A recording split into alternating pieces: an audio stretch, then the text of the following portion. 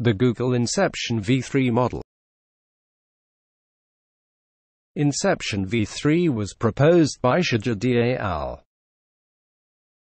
https colon slash slash r org pdf 1409.4842 pdf and introduced the concept of inception that has a better way of generalization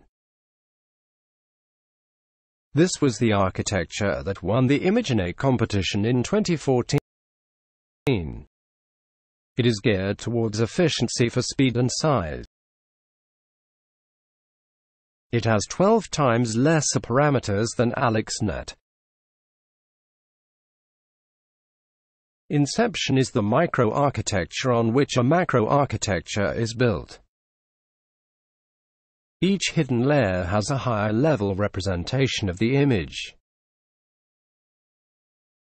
At each layer, we have an option of using pooling or other layers. Instead of using one type of kernel, Inception uses several kernels.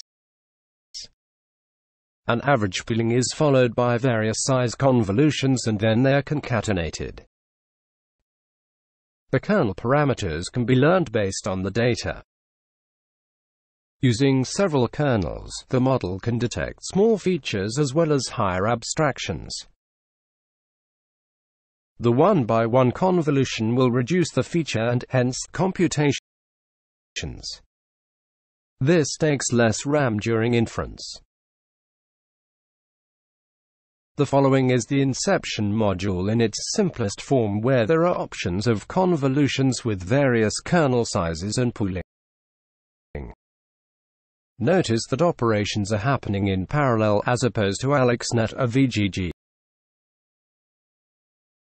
The output volume is huge, and hence, one-by-one -one filters are introduced for dimensionality reduction. When the reduced dimensions are added to the architecture, it becomes as follows.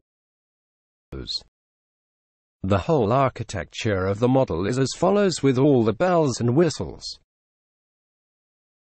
There are nine Inception modules with a total of 100 layers and they achieve good performance.